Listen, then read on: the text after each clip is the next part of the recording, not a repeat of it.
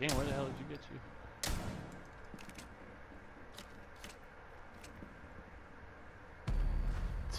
Dude, I'm done with this shit. Yep, I'm done. Just fucking murdered that